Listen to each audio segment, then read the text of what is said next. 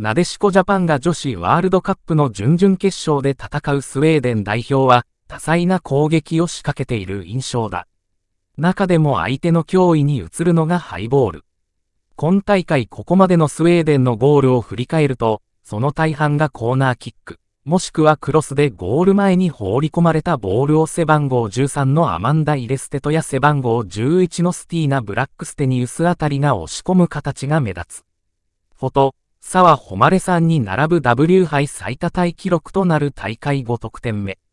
なでしこジャパンで躍動する宮沢ひなたを特集。守備もハイレベルで、決勝トーナメント1回戦では優勝候補のアメリカを相手に完封。この試合でスーパーセーブを連発した背番号1でゴールキーパーのゼチラムショビッチは文字通り好調で、なでしこジャパンにとっては厄介な存在だ。攻守にタレントが揃うスウェーデンとの試合、なでしこジャパンは決して引くべきではない。チームの重心が低くなれば、クロスの嵐を浴びる恐れもあり、そのクロスを防いでもコーナーキックになる可能性がある。避けたいのはやはり、押し込まれる展開だ。ならば、である。なでしこジャパンは前から守備をはめに行く必要がある。おそらく4-2-3-1システムで戦うスウェーデンに対して日本が主導権を握るには、前線3人、CF とシャドウ2人のプレスが一つの鍵だろう。相手 CB 間でのパス回しに食いつきすぎず、敵ボランチを隠す。そうしてパスコースをできるだけ消して、相手の次の一手を読みつつピンチの目をつむ。いわゆる組織的なディフェンスでスウェーデンの足を止めたい。スウェーデンがノルウェーのように引いてくるとは思えず、そう想定すると、なでしこジャパンはボールを奪った後にどう攻撃に転ずるか。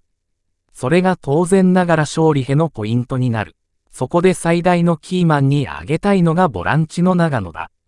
出し手にも受け手にもなれる柔軟性、試合の流れを的確に読める冷静さなどの持ち味を活かし、局面に応じて地効か速効かを使い分けてほしい。長谷川と同じく相手の厳しいマークが予想されるが、その長野が抑え込まれるようだと厳しい戦いになる。長野には長谷川の負担を軽減しつつ、ゲームメイクする役割が求められるのだ。攻守の切り替えが激しい展開になりそうなスウェーデン戦。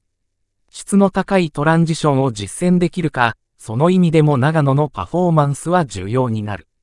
スウェーデンは前からのプレスも強烈。そのプレスを回避する上で、長野が CB をサポートする働きも注目点になりそうだ。